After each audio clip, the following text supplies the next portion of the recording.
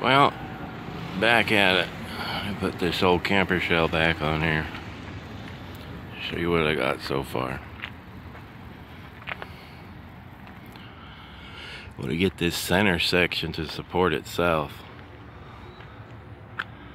That way the sides can tilt up.